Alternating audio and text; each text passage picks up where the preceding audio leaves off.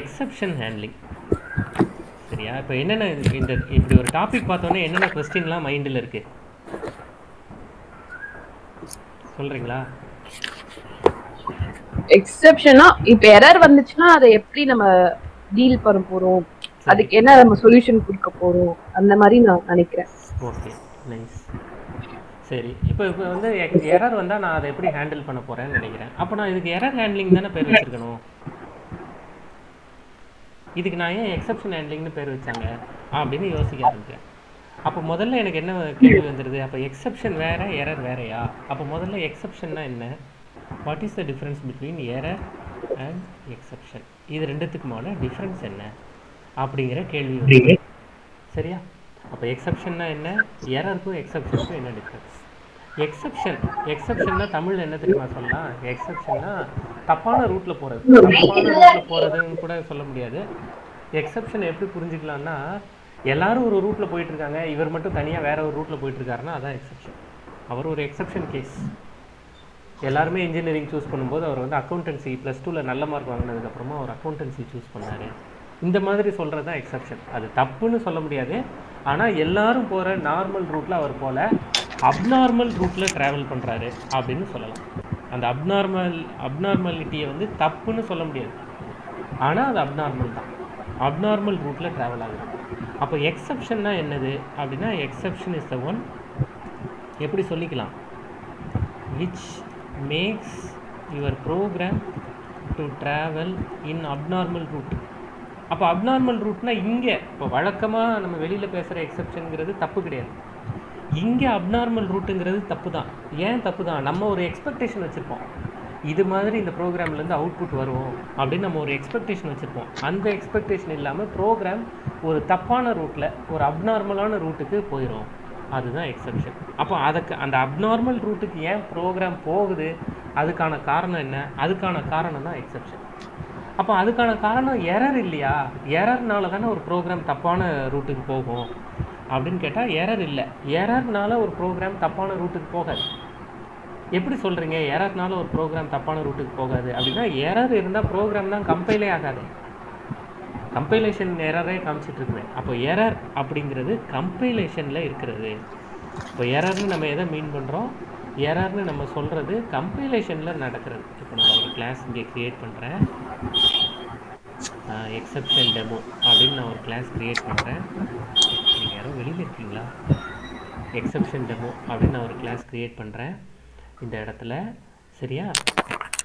இப்படி exception டெமோன்னு create பண்ணிட்டேன். இப்போ இந்த இடத்துல நான் வந்து integer A equals to five அப்படின்னு எழுதிட்டேன். அடுத்தது integer B equals to ten அப்படின்னு எழுதிட்டேன். இப்போ இதில் எரர் இருக்கா? இருக்குது என்ன எரர் இருக்குது இந்த இடத்துல செமிகோலன் விட்டுட்டேன். அப்போ செமிகோலன் விட்டுட்டேங்கிறதுனால இந்த ப்ரோக்ராம் எனக்கு கம்பைலே ஆகாது. கம்பைல் ஆனாலே இந்த ரெண்டு லைனில் வந்து நீங்கள் செமிகோலன் மிஸ் பண்ணியிருக்கீங்க செமிகோலன் எக்ஸ்பெக்டட் அப்படின்னு எரர் மெசேஜ் காமிக்கும். இது எரர் அப்போ எரர்னு நம்ம எதை சொல்கிறோம் எரர்னு நம்ம சொல்கிறது கம்பைலேஷன் எரர்ஸ் அந்த கம்பைலேஷன் எரர் சின்டாக்ஸ் எரராக இருக்கலாம். வேறு மாதிரியான எரர்ஸ் இருக்கலாம். சில டைமில் ஸ்டாக் ஓவர் ஃப்ளோ எரர் இருக்கலாம். இப்போ கம்பைலேஷன் எரருங்கிறதே கம்பைலேஷன் எரர்னா சின்டாக்ஸ் எரர் தானே அப்படிங்கிறது கரெக்ட் தான். மெஜாரிட்டி கம்பைலேஷன் எரருங்கிறது சின்டாக்ஸ் எரர் தான். இது தவிர ப்ரோக்ராம் ரன் ஆகும்போது ப்ரோக்ராமில் எந்த மிஸ்டேக்குமே இல்லை. ஆனால் ப்ரோக்ராமில் ஸ்டாக் ஓவர் ஃப்ளோ எரர் வருது. இப்போ அதானே இவங்க காமிச்சாங்க. எனக்கு இந்த இடத்துல ஸ்டாக் ஓவர் ஃப்ளோ எரர் வருது அப்படின்னு. ஸ்டாக் ஓவர் ஃப்ளோங்கிறது அந்த மெத்தட் திரும்ப இப்போ ரிக்கர்ஷன்லாம் தப்பாக பண்ணோன்னா அதை எப்படி ஹேண்டில் பண்ணுறது இல்லை எந்த இடத்துல ரிக்கர்ஷனை ஸ்டாப் பண்ணுறதுன்னு தெரியாமல் பண்ணால் வர்ற ஸ்டாக் ஓவர் ஃப்ளோ எரர் இந்த எரர் வரலாம். இது தாண்டி இப்போ நம்ம இந்த எரர் இதுக்கப்புறமா நான் சொல்ல போகிற மெமரி எரர் அப்படிங்கிறத நம்ம ஃபேஸ் பண்ண மாட்டோம். ஃபேஸ் பண்ணியிருக்க மாட்டோம். ஆனால் பெரிய பெரிய சர்வர்லாம் இப்போ ஜாவாவில் வந்து சர்வர் வச்சு மெயின்டைன் பண்ணுறவங்கலாம் இந்த மாதிரி மெமரி எரர்ஸ் வரும். மெமரி எரர்ஸ்னால் எப்படி? ஸ்டாக் எப்படி உங்களுக்கு வந்து ஜாவா ஜேடிகேவுக்கு அலோகேட்டான இல்லை ஜேவிஎம்க்கு அலோகேட்டான மெமரி ஃபில் ஆகும்போது ஸ்டாக் ஓவர்ஃப்ளோ எரர் வருது. இதே மாதிரி மொத்த சிஸ்டம்லேயுமே மெமரி இல்லைன்னா? இது எந்த மாதிரியான இடத்துலலாம் நடக்கும்? இந்த மாதிரி மெமரி எரர் அப்படின்னா பெரிய பெரிய சர்வர்லாம் வந்து ரன் பண்ணுவாங்க. அப்படி ரன் பண்ணும்போது நிறைய ரெக்வெஸ்ட் வரும். இப்போ யூசர்ஸ்லேருந்து நிறைய ரெக்வெஸ்ட் வருது. ஒரு வெப்சைட் லான்ச் பண்ணுறாங்க அந்த வெப்சைட்டில் காலையில் எட்டு மணிக்கு நாங்கள் இப்படி ஒரு ஆஃபர் கொடுக்குறோம் அப்படின்னா எட்டு மணிக்கு நிறைய பேர் அந்த வெப்சைட்டுக்கு போய் அந்த வெப்சைட்டை ஓப்பன் பண்ணி பார்க்கணுன்னு நினைக்கிறாங்க. அந்த மாதிரி டைமில் அந்த சர்வரே டவுன் ஆகும். அந்த மாதிரி டைமில் வர்ற மெமரி எரர்ஸ் இதெல்லாம் தான் எரர் அப்படின்னு சொல்கிறது அப்போ எக்ஸப்ஷன்னா என்னதுங்க? அப்படின்னா எக்ஸப்ஷன் இது இல்லை. எக்ஸப்ஷன்னா என்ன தெரியுமா? எக்ஸப்ஷன் அப்படிங்கிறது இது ஒரு விஷயம். இந்த விஷயம் மூலமாக உங்களோட ப்ரோக்ராம் அப்நார்மல் ரூட்டில் ட்ராவல் ஆக ஆரம்பிக்கும். அப்படி ட்ராவல் ஆக ஆரம்பிக்கும் போது டக்குன்னு அந்த ப்ரோக்ராம் நின்றும். அப்போ exception is a one which makes our program to travel in abnormal route and makes the program to stop abruptly இல்லை immediately. இதுதான் எக்ஸப்ஷன் எழுதியிருக்கிறதுல ஒன்றுமே புரியல. இது தமிழில் சொன்னாலும் புரியல இங்கிலீஷில் சொன்னாலும் புரியல. இப்போ எக்ஸப்ஷன்னா என்னதுங்க? நீங்கள் எழுதியிருக்கீங்க. இதை எழுதுனதை பார்த்து வாசிக்க முடியுது. ஆனால் இன்னும் கிளியர் கட் ஐடியா எனக்கு வந்து எக்ஸப்ஷன் மேலே கிடைக்க மாட்டேங்குது. அப்படின்னா இப்போ பாருங்கள் இதுக்கான எக்ஸாம்பிள் பார்ப்போம். ரெண்டு மூணு எக்ஸாம்பிள் இப்போ நம்ம பார்க்க போகிறோம் எப்படி? ஒன்று இப்போ பாருங்கள் நான் இந்த இடத்துல யூசர்கிட்ட இருந்து ரெண்டு நம்பர் வாங்க போகிறேன் எப்படி வாங்குறது? Scanner SC equals to new scanner of system dot in அப்படின்னு யூசர்கிட்டேருந்து வாங்கிட்டேன். சரியா? இதுக்கான இம்போர்ட் ஸ்டேட்மெண்ட்டெல்லாம் ஆட் பண்ணிக்கிடுறேன். இம்போர்ட் ஸ்டேட்மெண்ட்லாம் ஆட் பண்ணியாச்சு. இப்போ எஸ்சி டாட் நெக்ஸ்ட் இன்ட் அப்படின்னு இதில் கொடுத்துட்டோம். இப்படி நெக்ஸ்ட் இன்ட்னு கொடுத்துட்டு இதில் இன்டீஜர் நம்பர் ஒன் அப்படின்னு ஒன்று வாங்கியாச்சு. அதுக்கப்புறமா இன்டீஜர் நம்பர் டூ அப்படின்னு இன்னொன்று வாங்கியாச்சு. இப்படி ரெண்டு நம்பரும் வாங்கிட்டோம். இப்போ என்ன சொல்கிறோம் system dot out dot println enter numbers அப்படின்னு ரெண்டு நம்பர் வாங்கிட்டோம். இப்போ நம்ம பண்ண போகிறது மேத்தமெட்டிக்கல் கால்குலேஷன்ஸ் அப்போ அதுக்காக எக்ஸப்ஷன் டெமோவில் நான் ஒரு மெத்தட் க்ரியேட் பண்ணுறேன் இதுக்கு ஒரு ஆப்ஜெக்ட் க்ரியேட் பண்ணுறேன் நியூ எக்ஸப்ஷன் டெமோ அப்படின்னு ஒரு இடின்னு ஒரு ஆப்ஜெக்ட் க்ரியேட் பண்ணுறேன் இடி டாட் கால்குலேட் அப்படின்னு இந்த நம்பர் ஒன்னையும் நம்பர் டூவையும் நான் அதுக்கு பாஸ் பண்ணிடுறேன். சரியா? இதெல்லாமே இப்போ மெத்தட் மெத்தட் க்ரியேட் பண்ணுறது பாஸ் பண்ணுறது எல்லாம் உங்களுக்கு தெரியும். அப்போ இந்த நம்பர் ஒன் நம்பர் டூ இதில் என்னங்க பண்ண போகிறீங்க அப்படின்னா நான் இதில் வந்து நாலு ஆப்ரேஷன் அரித்மெட்டிக் ஆப்ரேஷன் நாலும் பண்ண போகிறேன் என்னென்னா number one plus number two அப்புறமா number one minus number two number one minus number two number one into number two number one divided by number two இப்படி நாலு ஆப்ரேஷனும் பண்ண போகிறேன் இதுதான் என்னோடய பிளான் இந்த ப்ரோக்ராமை நான் இப்போ ரன் பண்ணுறேன் இந்த ப்ரோக்ராமில் எந்த கம்பைலேஷன் இஷ்யூவும் இல்லை. எரர் எதுவுமே இல்லை. இந்த ப்ரோக்ராமை நான் இப்போ ரன் பண்ணுறேன் enter numbers ten five ten plus five ten minus five ten into five ten divided by five நாலு ஆன்சரும் எனக்கு கிடச்சிருச்சு. சூப்பர் இப்போ திரும்ப இந்த ப்ரோக்ராமை ரன் பண்ணுறேன் enter numbers zero one zero அடுத்து திரும்ப ரெண்டு நம்பர்ஸ் நான் வந்து இப்போ கொடுத்து பார்க்க போகிறேன் எப்படி கொடுத்து பார்க்குறது? என்னங்க? டிவைடட் பை ஜீரோனா வந்து வராது இல்ல சார் இன்ஃபினிட்டி இல்ல அதுனா ட்ரை பண்ணி பார்க்கலாம். ஆமாம் ட்ரை பண்ணுவோம். இப்போ ஃபர்ஸ்ட் நம்பர் டென் அடுத்த number zero first number ten அடுத்த நம்பர் ஜீரோக்கு டென் ப்ளஸ் ஜீரோ வந்துருச்சு. டென் மைனஸ் அடுத்து டென் டிவைடட் பை ஜீரோ கொடுக்கும்போது இந்த பாருங்கள் டென் இது எதெல்லாம் வந்துருச்சு? டென் ப்ளஸ் ஜீரோ வந்துருச்சு. டென் மைனஸ் ஜீரோவும் வந்துருச்சு. டென் இன்ட்டு ஜீரோவும் வந்துருச்சு. மூணு ரிசல்ட் வந்துருச்சு இந்த இடத்துல. இங்கே ஒரு டென் இங்கே ஒரு டென் இங்கே ஒரு ஜீரோ மூணு ரிசல்ட்டும் வந்துருச்சு. எது வரல? டிவைடட் பை ஜீரோ ஏன் டிவைடட் பை ஜீரோவில் ப்ராப்ளம் வருது? ஏன் டிவைடட் பை ஜீரோவில் ப்ராப்ளம் வருது? எந்த லைனில் ப்ராப்ளம் வருது? இதுதான் பார்க்க போகிறோம் அப்போ டிவைடட் பை ஜீரோவில் ப்ராப்ளம் வர்றதுக்கான reason the any number divided by zero divided by zero அதோட ரிசல்ட் என்ன? இன்ஃபினிட்டி அப்போ இன்ஃபினிட்டியை நீங்கள் எப்படி ஒரு இன்டீஜர் ரேஞ்சுக்குள்ளே கொண்டு வந்து வைக்க முடியும்? அப்போ அவுட் ஆஃப் ரேஞ்ச் போயிடுது அதனால் என்னால் இந்த இன்ஃபினிட்டியை ஹேண்டில் அதாவது இன்ஃபினிட்டிக்கான ஆன்சர் நமக்கே தெரியாது. அதனால தான் டிவைட் பை ஜீரோ அப்படிங்கிறதுல இன்ஃபினிட்டிங்கிறதுனால தான் நமக்கு இந்த ப்ராப்ளம் வருது. ஜாவா இது வந்து எப்படி டேர்ம் பண்ணுது? எனக்கு வந்திருக்கிற ப்ராப்ளம் டிவைட் பை ஜீரோ அதை நம்மக்கிட்ட சொல்லிருச்சு. இப்போ நம்மக்கிட்ட ஜேவிஎம் வந்து இந்த ரிசல்ட்டை சொல்லிருச்சு. அடுத்து என்ன சொல்லுது? Java dot lang dot arithmetic exception அப்படின்னு ஒன்று சொல்லிருச்சு. அப்போ அடுத்து இதை டிஸ்கஸ் பண்ணணும். இதை எடுத்து வச்சுக்கலாம். அதுக்கு அடுத்து என்ன சொல்லுது? நீங்கள் எக்ஸப்ஷன் டெமோன்னு ஒரு கிளாஸ் வச்சுருக்கீங்க. அந்த எக்ஸப்ஷன் டெமோவில் மெயின் மெத்தட் இருக்குது மெயின் மெத்தடில் லைன் நம்பர் ஃபிஃப்டீனையும் கால்குலேட்டுங்கிறதுல லைன் நம்பர் டுவெண்ட்டி ஃபைவையும் நீங்கள் கொஞ்சம் பாருங்கள் அப்படின்னு நமக்கு கிளியர் கட் ஐடியா கொடுத்துருது. அப்போ மெயின் மெத்தடுக்கு போகிறேன் மெயின் மெத்தடுக்கு போயிட்டேன். லைன் நம்பர் ஃபிஃப்டீன் போய் பார்த்தா முதல்ல என்ன நடக்குது? இங்கே பாருங்க. லைன் நம்பர் ஃபிஃப்டீனில் என்ன நடக்குது? கால்குலேட்ங்கிற மெத்தட் கால் ஆகுது. ஓகே அடுத்தது என்ன நடக்குது? இப்போ நான் கன்சோலை வேணால் கீழே கொண்டு வந்து வச்சுக்கலாம். அடுத்தது என்ன நடக்குது? லைன் நம்பர் டுவெண்ட்டி ஃபைவ்க்கு போங்க அப்படின்னு சொல்லுது அப்போ நான் லைன் நம்பர் ஃபிஃப்டீனுக்கு போனேன். அதுக்கப்புறமா லைன் இங்கே வந்தேன். அதுக்கப்புறமா லைன் நம்பர் டுவெண்ட்டி ஃபைவ்க்கு வந்தேன். இந்த இடத்துல தான் எனக்கு டிவைட் பை ஜீரோ அப்போது ப்ரோக்ராம் வள நம்மளோட எக்ஸ்பெக்டேஷன் என்ன? நம்மளோட எக்ஸ்பெக்டேஷன் இந்த நாலு ரிசல்ட்டும் வரும் அப்படிங்கிறது நம்மளோட எக்ஸ்பெக்டேஷன் ஆனால் நடந்தது என்ன? எக்ஸ்பெக்டேஷன் மீட் ஆகலை. அப்போ என்ன சொல்கிறோம் ப்ரோக்ராம் நார்மல் எக்ஸ்பெக்டேஷன் மீட் ஆச்சுன்னா என்ன அர்த்தம்? ப்ரோக்ராம் நார்மலாக ரன் ஆகுதுன்னு அர்த்தம். எக்ஸ்பெக்டேஷன் மீட் ஆகலை ப்ரோக்ராம் அப்நார்மல் ரூட்டுக்கு போயிடுச்சு அப்நார்மல் ரூட்டுக்கு போன உடனே இதை ஹேண்டில் பண்ண முடியாமல் அங்கேயே ஸ்ட்ரக் ஆகி அப்படியே அப்ரப்டாக ப்ரோக்ராம் நின்றுச்சு ஸ்டாப் ஆயிடுச்சு இதை தான் இந்த லைனில் எழுதியிருக்கோம். இப்போ திரும்ப இதை வந்து வாசித்து பார்ப்போம்.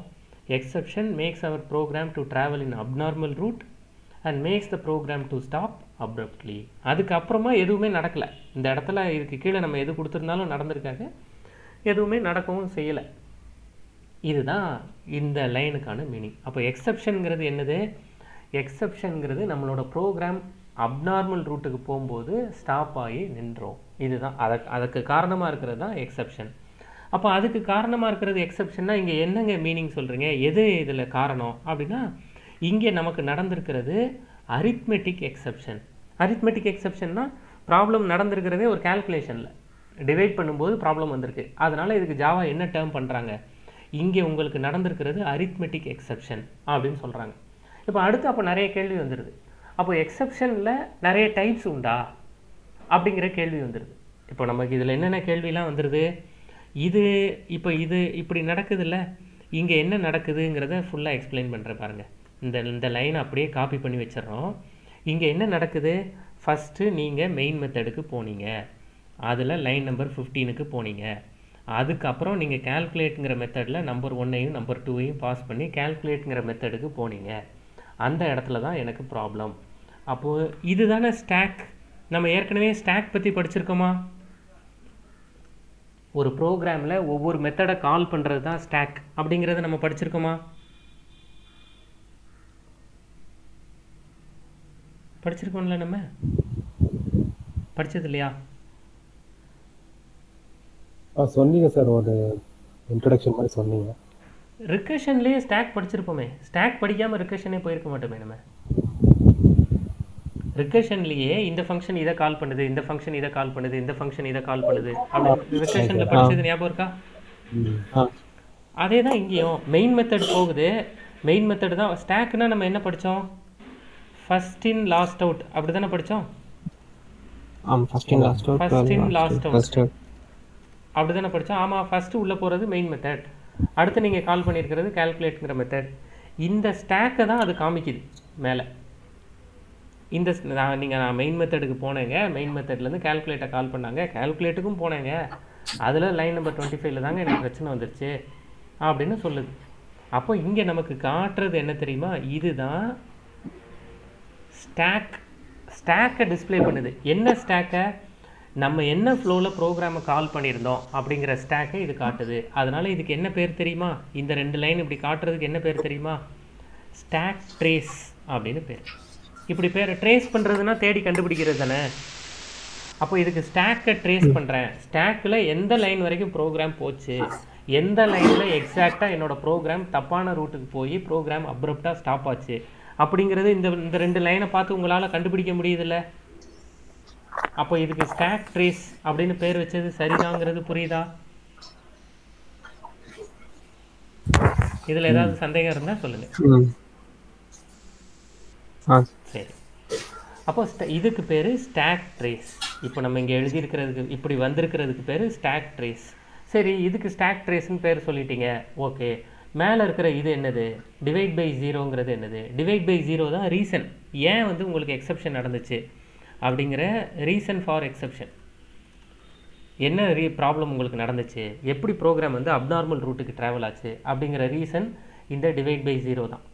சரி. அடுத்து இந்த arithmetic Java dot lang dot arithmetic எக்ஸப்ஷனுங்கிறது என்னது? இப்போ Java dot lang dot arithmetic இதுதான் இப்போ இருக்கிற டிஸ்கஷன் இதை பார்த்தா இப்போ நான் இதை என்ன சொல்கிறேன் இது வந்து எக்ஸப்ஷனுங்க உங்களுக்கு நடந்திருக்கிற எக்ஸப்ஷனோட பேர் அப்படின்னு சொல்கிறேன் ஆனால் பார்த்தா இதை பார்த்தா எக்ஸப்ஷன் நம்புற மாதிரி இல்லை. ஏன் நம்புற மாதிரி இல்லை? இதை பார்த்தா ஃபர்ஸ்ட் லெட்டர் கேபிட்டல் லெட்டராக இருந்தாலே என்னன்னு படிச்சிருக்கோம் ஜாவால. கிளாஸ் கிளாஸ்னு படிச்சிருக்கோம். அப்படி இல்லைன்னா இன்டர்ஃபேஸ் ஆ இன்டர்ஃபேஸ்னு படிச்சிருக்கோம். அப்போ இதை பார்த்தா கிளாஸோ இன்டர்ஃபேஸோ அப்படிங்கிற சந்தேகம் வருது. ஏன் அந்த சந்தேகம் வருது? ஒரு கிளாஸ் நேமை எப்பவுமே நம்ம எப்படி படிச்சிருக்கோம்? நீங்கள் ஒரு கிளாஸ் நேமை யூஸ் பண்ணுறீங்கன்னா அந்த கிளாஸ் நேமை வெறுமனே சொல்லக்கூடாதுங்க. அந்த கிளாஸோட பேக்கேஜ் நேமோடு சேர்த்து தான் சொல்லணும். இந்த பாருங்கள் Java dot util dot scanner இப்படி தானே சொல்கிறீங்க அப்போ அந்த பேக்கேஜ் நேம் கண்டிப்பாக வேணும் அப்படின்னு நமக்கு ஏற்கனவே தெரியும். ஜாவா டாட் லேங்னு ஒரு பேக்கேஜ் இருக்கிறது நமக்கு ஏற்கனவே தெரியும். தெரியுமா? அதில் இருக்கிற ஏதாவது ஒரு கிளாஸ் நேம் யாராவது சொல்ல முடியுமா? Object super very nice object வேற யாராவது ஏதாவது சொல்றீங்களா? String scanner class string scanner Java dot util இருக்கு. அது யூட்டில் ஆ யூட்டில் ஓகே இருக்கு. கரெக்ட் அப்போ இதெல்லாம் பார்த்து நீங்கள் இன்டர்வியூ பெர்ஸ்பெக்டிவ்ல நல்லா பார்த்துக்கோங்க interview பெர்ஸ்பெக்டிவ்ல okay Java dot lang package தெரியும்ல அதில் ஒரு ஃபோர் ஆர் ஃபைவ் கிளாஸஸ் சொல்லுங்கள் ஜாவா டாட் யூட்டில் தெரியும்ல அதில் ஒரு ஃபோர் ஆர் ஃபைவ் கிளாஸஸ் சொல்லுங்கள் உங்களுக்கு தெரிஞ்சது நீங்கள் எதெல்லாம் யூஸ் பண்ணியிருக்கீங்கன்னு சொல்லுங்கள் இப்படி கேட்பாங்க. அது கேட்குறதோட ரீசன் நீங்கள் டச்சில் இருக்கீங்களா? ப்ரோக்ராமிங்கில் டச்சில் இருக்கீங்களா? அப்போ டக்குன்னு ஒருத்தரால் இப்போ ஆப்ஜெக்ட்னு ஒருத்தரால் சொல்ல முடியும்னா அவர் ப்ராக்டிஸ் பண்ணிட்டு இருக்காருன்னு அர்த்தம். அந்த ப்ராக்டிஸில் இருக்கீங்களா? அப்படின்னு தெரிஞ்சுக்கிட்டதுக்கான கொஸ்டின் அது. அப்படி நீங்கள் அதுக்கு ஆன்சர் பண்ணலைனாலும் விட்டுருவாங்க. ஆனால் இவர் இன்னும் ப்ராப்பர் ப்ராக்டிஸில் இல்லை அப்படின்னு அது வந்து அந்த மீனிங் பாஸ் ஆயிரும். அதனால அதை பார்த்து வச்சுக்கோங்க. சரி. அது வேற ஸ்டோரி இப்போ இந்த அரித்மெட்டிக் எக்ஸப்ஷனுங்கிறது என்னதுங்க? அப்போ ஜாவா டாட் லேங்னு கொடுத்துருக்கீங்களே அப்படின்னா அப்போ அரித்மெட்டிக் எக்ஸெப்ஷன் ஒரு கிளாஸ் அப்போ கிளாஸாக நீங்கள் இப்போ இது வரைக்கும் என்ன சொன்னீங்க? எக்ஸெப்ஷனுங்கிறது ஒரு ஈவெண்ட் எக்ஸப்ஷனுங்கிறது ஒரு ஈவெண்ட் அதை எழுதியிருக்கோமா மேலே? விச் மேக்ஸ்னு ஆரம்பிச்சிருக்கேன்னு நினைக்கிறேன். எக்ஸெப்ஷன் அப்படிங்கிறது அந்த ஈவெண்ட் அப்படின்னு எழுதிக்கலாம் இதுக்கு முன்னாடி. சரியா? இப்போ நீங்கள் என்ன சொன்னீங்க முதல்ல? அது வந்து ஒரு சம் ஒரு ஒரு விஷயம் ஒரு சம்பவம். அது நடந்துச்சுன்னா உங்களோட ப்ரோக்ராம் தப்பான ரூட்டுக்கு போயிடும் இப்படி தானே சொன்னீங்க. இப்போ திடீர்னு அது வந்து ஒரு அது வந்து ஒரு கிளாஸ் அப்படின்னு சொல்கிறீங்களே எப்படி சொல்கிறீங்க இந்த ஜாவா டாட் லேண்ட் டாட் யாருங்க சாப்பிட்டுட்டே இருக்கீங்க? யாரும் சாப்பிட்டுட்டு இருக்கீங்க. யாரும் அப்போ இது என்னதுங்க? Java dot lang dot arithmetic exception அப்படிங்கிறது அப்போ Java dot lang dot arithmetic எக்ஸெப்ஷனில் arithmetic எக்ஸெப்ஷனுங்கிறது ஒரு கிளாஸ் சரி ஒரு கிளாஸ்னா நீங்கள் சொன்ன டெஃபினிஷனை எடுத்துகிட்டு வாங்க. அந்த டெஃபினிஷனை எனக்கு இங்கே மேட்ச் பண்ணி எனக்கு கொஞ்சம் புரியிற மாதிரி சொல்லுங்கள் இந்த எக்ஸெப்ஷனை வந்து கொஞ்சம் புரியிற மாதிரி சொல்லுங்கள் அப்படின்னு ஒருத்தர் கேட்டார்னா கரெக்டாக கேட்குறாரு அப்போது என்ன தெரியுமா? எக்ஸப்ஷனுங்கிறது ஒரு ஈவெண்ட் தான். அப்படி ஈவெண்ட்டை அந்த அது வந்து ப்ரோக்ராம் அப்நார்மல் ரூட்டுக்கு கொண்டு போக வச்சு ப்ரோக்ராமை ஸ்டாப் பண்ணிடும் எல்லாம் கரெக்டு தான். அப்படி ஸ்டாப் பண்ணும்போது என்ன தெரியுமா நடக்கும்? JVM will throw a corresponding exception object. Whenever exception occurs இப்படி எழுதிக்கலாம். சரியா? எப்போ எக்ஸப்ஷன் நடந்தாலும் எப்போ இந்த மா மேலே இருக்கிற ஈவெண்ட் நடந்தாலும் ஜே இப்போ எக்ஸப்ஷன் நடக்கிறதுக்கு இன்சார்ஜ் ஜேவிஎம்மா ஜேடிகேவா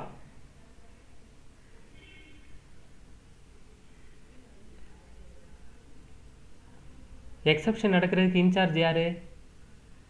ரன் டைமில் தானே நடக்குது. ஜேவிஎம் சார் அப்போ ஜேவிஎம் ஏன்னா கம்பைல் டைமில் நடந்தால் தான் ஜேடிகே அப்போ இது ஜேவிஎம் தான் இதுக்கான இன்சார்ஜ் அப்போ ஜேவிஎம் வந்து ஒரு கரஸ்பாண்டிங் எக்ஸப்ஷன் ஆப்ஜெக்டை த்ரோ பண்ணும். இல்லை எனக்கு இது புரியலையே நீங்கள் சொல்கிறது எக்ஸப்ஷன் ஆப்ஜெக்டை த்ரோ பண்ணுன்னா என்னன்னே எனக்கு புரியல. மேலே திடீர்னு ஒரு Java dot lang dot arithmetic exception ஒன்று காமிச்சிங்க. அது என்னன்னு கேட்டுட்டு இருக்கும்போது அது ஒரு கிளாஸ்னு சொன்னீங்க. சரி அந்த கிளாஸ் நேம் ஏன் இங்கே கொடுத்துருக்காங்க?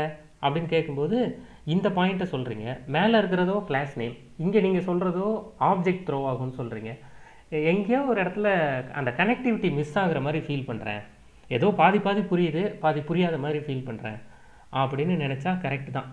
அப்போது எப்போ இந்த எக்ஸப்ஷனை எப்படி புரிஞ்சுக்கலாம் அப்படின்னா ரியல் லைஃப்பில் எக்ஸப்ஷனை எப்படி புரிஞ்சுக்கிடுறோமோ அதே மாதிரி தான். நான் ஒரு கடைக்கு போகிறேன் நான் ஒரு கடைக்கு போய் ஒரு ஐம்பது ரூபா கொடுக்குறேன். நான் ஏதோ ஒரு பர்டிகுலர் ப்ராடக்ட் கேட்குறேன். எனக்கு வந்து இது கொடுங்க அப்படின்னு நான் கேட்குறேன் அவர்கிட்ட. கடைக்கார்ட்ட. கடைக்காரர் அதை கொடுக்க மாட்டேங்கிறார். நான் ஐம்பது ரூபா கொடுத்துட்டேன். அதை கொடுக்க மாட்டேங்கிறார். வேறு ஏதோ ஒரு ப்ராடக்ட் நான் வந்து ஒரு ப்ராடக்ட் ஒன்று கேட்குறேன்னு வச்சுக்கோங்களேன் கடைக்காரர் வந்து எனக்கு ப்ராடக்ட் டூ வேறு ஏதோ ஒன்று கொடுக்குறாரு. இப்போ நான் என்ன பண்ணுவேன்? இல்லை இல்லை எனக்கு இது வேண்டாம் அப்படின்னு சொல்லி அந்த ப்ராடக்ட்டை ரிட்டர்ன் பண்ணிடுவேன். இந்த ப்ராடக்ட் எனக்கு வேண்டாம் அப்படின்னு ரிட்டர்ன் பண்ணிடுவேன். ரிட்டர்ன் பண்ண உடனே அந்த ஐம்பது ரூபாயை கடைக்காரர் என்கிட்ட திரும்ப கொடுத்துருவார். இப்போ இங்கே நடந்திருக்கிறது நார்மலான ஒரு விஷயம் இல்லை. ஏன்னா நான் ஒரு கடைக்கு போகிறேன் நான் ஒரு கடைக்கு போய் ஒரு பொருள் வேணும்னு கேட்குறேன் அந்த பொருளை எனக்கு கொடுப்பாரு அதுக்கான காசை நான் கடைக்கார்ட்ட கொடுப்பேன். அதுதான் நார்மல் அங்கே ஒரு டிரான்சாக்ஷன் நடந்திருக்கும். அதான் நார்மல் அப்நார்மல் எது? டிரான்சாக்ஷன் நடக்கலை. அப்நார்மல் ரூட் அப்படிங்கிறது டிரான்சாக்ஷனே நடக்கலை. ஐம்பது ரூபா நான் கொடுத்தேன். அவர் என்கிட்ட ப்ராடக்ட் ஒன்று கொடுக்குறதுக்கு பதிலாக ப்ராடக்ட் டூவை கொடுத்தாரு. நான் எனக்கு இது வேண்டான்னு சொல்லி திரும்ப கொடுத்தேன். அவர் நான் கொடுத்த ஐம்பது ரூபாவை திரும்ப கொடுத்துட்டார். இது நார்மல் ரூட் இல்லை இது அப்நார்மல் ரூட் அப்போ இந்த அப்நார்மல் ரூட்டுக்கான ரீசன் என்ன? இந்த அப்நார்மல் ரூட்டுக்கான ரீசன் இந்த ப்ராடக்ட் டூ அப்போ அந்த ப்ராடக்ட் டூவை ரிட்டர்ன் பண்ணிடுறோம் ப்ராடக்ட் டூவை இதையாங்க நான் கேட்டேன். அப்படின்னு தூக்கி வீசிடுறோன்னு வைங்களேன் கோபமாக பொதுவாக வீசுறது இல்லை அப்படின்னு வச்சுக்கோங்களேன். ஜாவாவில் அப்படி வீசுறதா அந்த மீனிங்கில் சொல்லுவாங்க. சரியா? இந்த இதே இதையாங்க நான் கேட்டேன். இது நான் கேட்கல அப்படின்னு நான் தூக்கி வீசிடுறேன். அப்படின்னா இப்போ என்ன ரீசன்னால இந்த ப்ராடக்ட்டை நம்ம தூக்கி வீசுகிறோம் ஏன்னா இது என்னோடய எக்ஸ்பெக்டேஷன்லேயே இல்லை. என்னோடய எக்ஸ்பெக்டேஷனை கிராஸ் பண்ணி வேறு ஏதோ ஒன்று எனக்கு நடக்குது. அப்படி நடக்கும்போது என்னோட எக்ஸ்பெக்டேஷன் ஃபெயிலியர் ஆகுது. அப்போ என்னோட எக்ஸ்பெக்டேஷன் அதாவது நான் ஒரு நார்மல் ரூட்டில் இந்த ஃப்ளோ போகும்னு நினைக்கிறேன். என்னோட நார்மல் ஃப்ளோ டிஸ்டர்ப் ஆகுது. என்னோட நார்மல் ஃப்ளோ டிஸ்டர்ப் ஆகுது. அப்படி நார்மல் ஃப்ளோ டிஸ்டர்ப் ஆகிறதுக்கு காரணமானது இந்த ப்ராடக்ட் டூ கரெக்டாக அதனால் நான் என்ன பண்ணுறேன் இந்த product two is return back அப்படி இல்லைன்னா இது இங்கிலீஷில் எழுதுனா பிரச்சனையாக இருக்காது. தமிழில் சொன்னால் ரொம்ப கோபமாக பண்ணுற மாதிரி இருக்கும். Thrown back product two is thrown back அவ்வளோதான் ஏன் product two is thrown back my normal flow is disturbed அதனால் நான் ப்ராடக்ட் டூ வேண்டான்னு திரும்ப கடைக்கார்ட்டே கொடுக்குறேன். அப்போ இதுதான் அப்போது இதுலேருந்து நம்ம புரிஞ்சுக்கிறது என்ன? எப்போல்லாம் அப்நார்மல் ஈவெண்ட் நடக்குதோ அந்த நேரத்துலலாம் an object which is causing that abnormal event இந்த லைன் இப்போ நான் சொன்ன ஸ்டோரி படி இந்த லைன் சரியான்னு பாருங்கள் வென்னவர் அப்நார்மல் ஈவெண்ட் அக்கஸ் எப்போல்லாம் நடக்குதோ அந்த நேரத்துலலாம் அந்த அப்நார்மல் ஈவெண்ட் நடந்ததுக்கு காரணமாக இருக்கிற ஆப்ஜெக்ட் வில் பி த்ரோன் இது கரெக்டா இப்போ நான் சொன்ன கதைப்படி இந்த லைன் கரெக்டா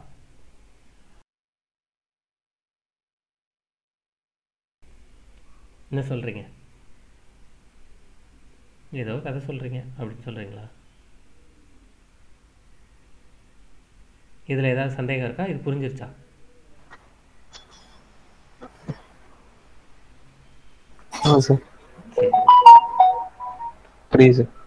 அவ்வளோதான் இதே தான் ஜாவாலியும் அப்போ இது அப்படியே இங்கே நீங்கள் பார்க்குறதெல்லாம் ரியல் ஆப்ஜெக்ட்ஸ் அங்கே பார்க்குறதெல்லாம் விர்ச்சுவல் ஆப்ஜெக்ட்ஸ் அவ்வளோதான் இதே தாங்க ஜாவாலியும் எப்போல்லாம் வந்து ஒரு அப்நார்மல் ஈவெண்ட் நடக்குதோ an object which is causing that abnormal event will be thrown அப்போ வில் பி த்ரோன்னா இப்போ ரெண்டு கேள்வி வந்துடுது ஹூ வில் த்ரோ அப்படின்னு வந்துடுது யாருக்கு த்ரோ பண்ணுவாங்க? To whom? அப்படிங்கிற கேள்வி வந்துடுது அப்போ இது ரெண்டுத்துக்குமான ஆன்சர் என்ன? ஹூ வில் த்ரோ ஜேவிஎம் தான் ஜேவிஎம் வில் த்ரோ யாருக்கு? நமக்கு. டு த டெவலப்பர் அதை தான் நம்ம கன்சோலில் பார்த்துட்டு இருக்கோம் ஜேவிஎம் நம்ம கிட்ட த்ரோ பண்ணிடும் அப்படி த்ரோ பண்ணுறது தான் ஆப்ஜெக்ட் அப்போ ஜேவிஎம் த்ரோ பண்ணும் த்ரோ பண்ணுன்னு சொன்னீங்க. ஆப்ஜெக்டே கண்ணில் காட்டல. எந்த ஆப்ஜெக்ட்டுங்க ஜேவிஎம் த்ரோ பண்ணுச்சு? இப்போ நானும் தான் உங்கள் கூட சேர்ந்து இந்த ப்ரோக்ராம் பார்த்தேன். Java dot lang dot arithmetic exception இருக்குது இதில் எந்த ஆப்ஜெக்ட் த்ரோ ஆயிருக்கு? அப்படின்னு கேட்டால் இப்போ திரும்ப நம்ம எங்கே தெரியுமா போயிடணும் ஆப்ஜெக்ட் ஓரியன்ட் ப்ரோக்ராமிங்கோட பேசிக்ஸுக்கு போயிடணும் ஒரு ஆப்ஜெக்ட் ஆப்ஜெக்ட்னா என்ன? கிளாஸ்னா என்ன? அந்த டிஸ்கஷனுக்கு போயிடணும் இப்போ ஆப்ஜெக்ட் த்ரோ இப்போ நம்ம கொஸ்டின் என்னென்னா ஜேவிஎம் இங்கே எங்கே ஆப்ஜெக்ட் த்ரோ பண்ணியிருக்கு? அப்படிங்கிறது தான் கொஸ்டின் அதுக்கான ஆன்சரை தான் தேட போகிறோம் அந்த கொஸ்டினை ஞாபகம் வச்சுக்கோங்க சரியா? ஜேவிஎம் எங்கே ஆப்ஜெக்டை த்ரோ பண்ணியிருக்கு அதை என்கிட்ட காட்டுக்க இதுதான் கொஸ்டின் அதை இன்னும் காட்டலையே. நீங்கள் ஏதோ ஒரு கிளாஸ் நேமை தானே காட்டுறீங்க?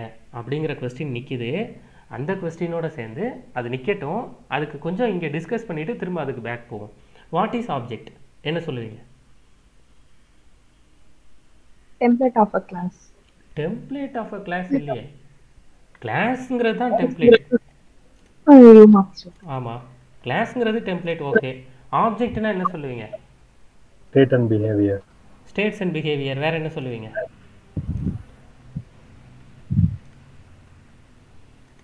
வேற என்ன சொல்லுவீங்க ஆப்ஜெக்ட்டுக்கு ஆப்ஜெக்டையும் கிளாஸையும் கனெக்ட் பண்ணி என்ன சொல்லுவீங்க? என்ன சொல்ல வந்தீங்க? Blueprint blueprint blueprint class சொல்லுவீங்க. Number of class member of class okay இன்னும் கொஞ்சம் அதை டீடைல் பண்ணலாமே.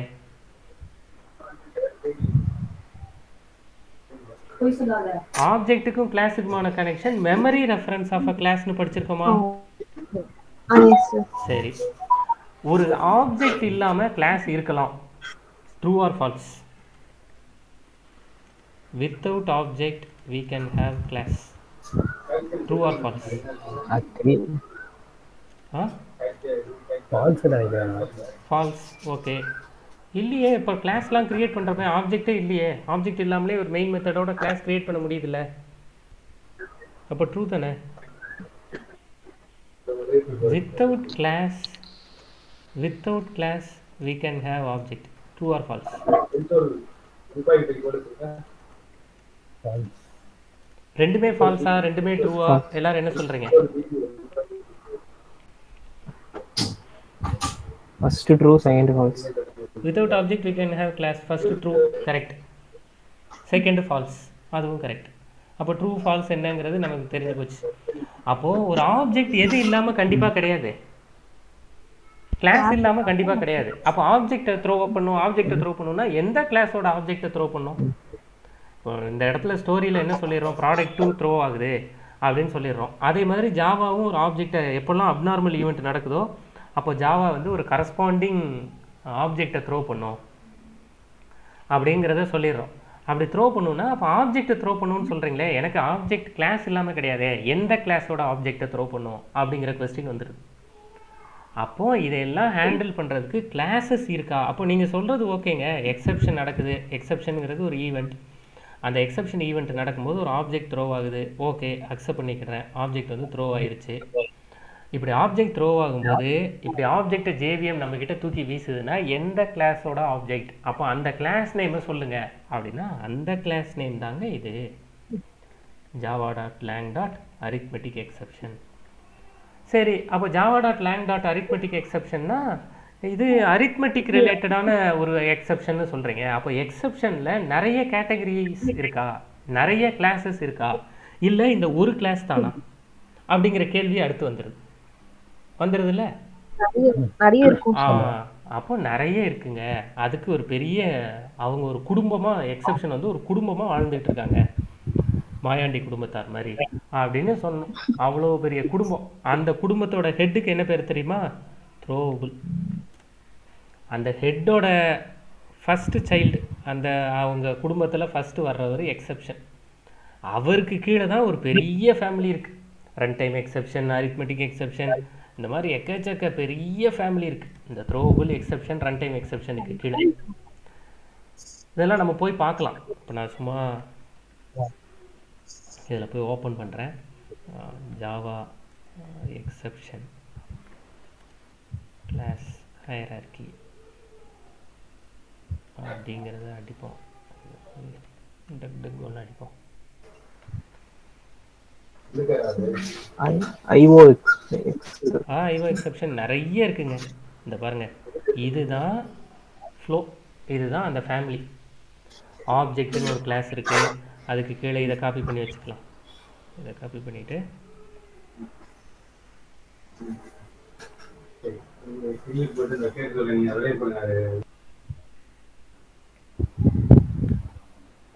சரி இதை பெருசு பண்ண முடியல. ஆப்ஜெக்ட்னு ஒரு கிளாஸ் இருக்கு. அதுக்கு கீழே த்ரோவபிள் ஆப்ஜெக்ட்டுங்கிற கிளாஸ் நமக்கு எப்பவுமே தெரியும். அதுக்கு கீழே த்ரோவபிள்னு ஒரு கிளாஸ் இருக்கு. அந்த த்ரோவபிள் கிளாஸுக்கு கீழே தான் எக்ஸெப்ஷன் ஒரு கிளாஸ் இருக்கு. எரர்னு ஒரு கிளாஸ் இருக்கு. ஆ இப்போ நம்ம திரும்ப பழைய ஸ்டோரிக்கு போயிட்டோம். எது? எரர் பத்தி தான் பேச ஆரம்பிச்சோம் முதல்ல. கரெக்டா நம்ம எரர் பத்தி தான் முதல்ல பேச ஆரம்பிச்சோம். அப்போ த்ரோவபிள் அப்படிங்கிற ஒரு பேரண்ட்டுக்கு ரெண்டு சைல்டுங்க த்ரோவபிள்ங்கிற பேரண்ட்டுக்கு ரெண்டு சைல்டு ஒருத்தர் எக்ஸப்ஷன் இன்னொருத்தர் எரர் அந்த எரர்ல தான் நம்ம பார்த்த எரர்ஸ் எல்லாம் வந்துருச்சு பாருங்க. எந்த எரர்லாம் வந்துருச்சு?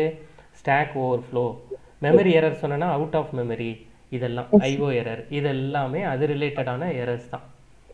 இப்போ நம்ம டிஸ்கஸ் பண்ணிக்கிட்டு இருக்கிறது எரர் இல்லை எக்ஸப்ஷன் அப்போ எக்ஸப்ஷன் ஒரு கிளாஸ் இருக்குது அதுக்கு கீழே run time exception IO exception SQL exception இந்த மாதிரி நிறைய எக்ஸப்ஷன் கிளாஸஸ் இருக்குது இது எல்லாமே கிளாஸஸ் எல்லாமே ஃபர்ஸ்ட் லெட்டர் கேபிட்டலாக இருக்கு பாருங்க. இது எல்லாமே கிளாஸஸ் அந்த ரன் டைம் எக்ஸப்ஷனுக்கு கீழே arithmetic exception null pointer exception class cast exception index out of bounds exception இப்படி நிறைய கிளாஸஸ் இருக்குது அப்போ இது ஒரு பெரிய ஃபேமிலி இந்த இந்த பெரிய ஃபேமிலியில் இவங்க காமிச்சிருக்கிறதே ரொம்ப கம்மி. அஃபிஷியல் சைட்டில் போய் பார்த்தீங்கன்னா ஒரு பேஜ் ஃபுல்லாக எக்ஸப்ஷன் கிளாஸ் நேம்ஸாக இருக்கும். அவ்வளோ கிளாஸ் நேம்ஸ் இருக்கும் இவங்க சும்மா ஒரு நம்ம எடுத்திருக்கிற ஸ்க்ரீன்ஷாட்டில் ஒரு சின்ன விஷயத்தை காமிக்கிறாங்க அவ்வளோதான் இதே மாதிரி ஒரு நூ நூறு எக்ஸப்ஷன் கிளாஸாவது இருக்கும். அவ்வளோ பெரிய ஃபேமிலி இது. அதுதான் இப்போ நம்ம டிஸ்கஸ் பண்ண போகிறோம் அப்போது த்ரோவபிள்னு ஒரு எக்ஸப்ஷன் த்ரோவபிள்னு ஒரு கிளாஸ் இருக்குது அந்த கிளாஸோட சப் கிளாஸ் தான் எக்ஸப்ஷன் சரி அதோட இன்னொரு ஒரு சப் கிளாஸ் தான் எரர் சரியா? இப்போ எரருக்கும் எக்ஸப்ஷனுக்கும் என்ன டிஃப்ரென்ஸ் அதை நம்ம ஏற்கனவே டிஸ்கஸ் பண்ணிட்டோம். இப்போ இந்த த்ரோவபிள் பற்றி ஏன் பேசுகிறீங்க இந்த எக்ஸப்ஷன் பற்றி ஏன் பேசுகிறீங்க அப்படின்னா ஜேவிஎம் எப்போவுமே ப்ரோக்ராம் தப்பான ரூட்டில் போகும்போது ஒரு ஆப்ஜெக்டை த்ரோ பண்ணணும் அப்படின்னா அந்த ஆப்ஜெக்ட் த்ரோபிள் நேச்சரோடு இருக்கணும். ஒரு வீட்டில் பத்து குழந்தைங்க இருக்காங்க.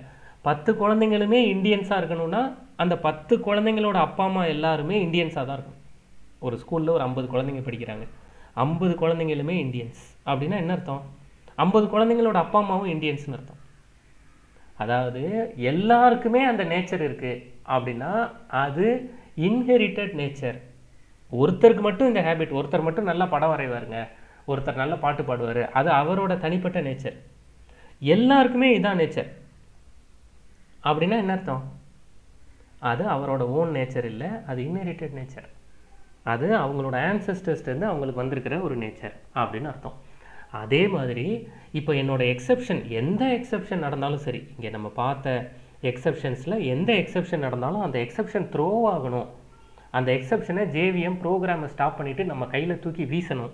அப்படின்னா அந்த எக்ஸப்ஷன் எல்லா எக்ஸப்ஷனுக்கும் இருக்க வேண்டிய நேச்சர் என்ன தெரியுமா? த்ரோவபிள் நேச்சர் அப்படி த்ரோவபிள் நேச்சர் இருந்தால் தான் நம்ம அந்த எக்ஸப்ஷன் ஆப்ஜெக்டை வீச முடியும் தூக்கி த்ரோ பண்ண முடியும். அதனால தான் எக்ஸப்ஷன் கிளாஸோட பேஸ் கிளாஸ் த்ரோவபிள் கிளாஸ் இது புரியுதா? இதில் இது வரைக்கும் சொல்லியிருக்கிறதோட நிறுத்துறேன். உங்களோட கொஸ்டின்ஸ் ஏதாவது இருந்தால் சொல்லுங்கள்